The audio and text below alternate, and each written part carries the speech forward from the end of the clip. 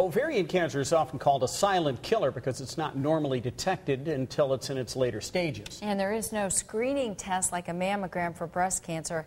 As News Channel 8's Molly Nelson reports, your best defense is to know the signs and symptoms. If I wouldn't have gone for my examination, that, you know, the, the, the tumor, the mass would have continued to grow. Michelle Arnberg was a little overdue for her annual exam, but it's a good thing that she went because her doctor noticed an enlarged ovary and then the tests found cancer. These robotic arms at Mercy Medical Center removed her reproductive organs, and now the 41 year old is going through chemo. I'm going to be losing my hair.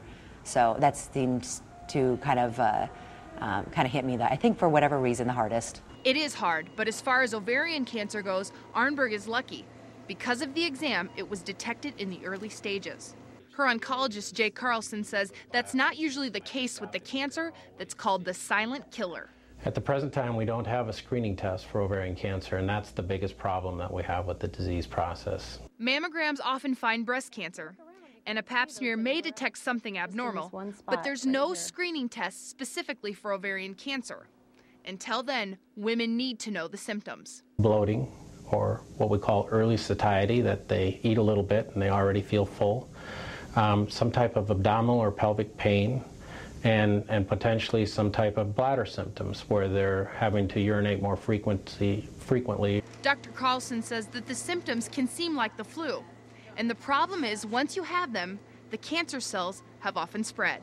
September is Ovarian Cancer Awareness Month, and it's an opportunity for people to get educated, to, to understand the symptoms, and, and, uh, and really what a horrific disease it is. It is a horrible disease, one Arnberg is battling. Until there's a test, knowing the symptoms, regular exams, and listening to your body will help with the battle. I can't um, probably express enough to go to get your yearly exam um, because we don't, we don't feel. Um, when it's at, it, at its early stages. Michelle did, and it likely saved her life. Molly Nelson, KCCI News Channel 8, Iowa's news leader.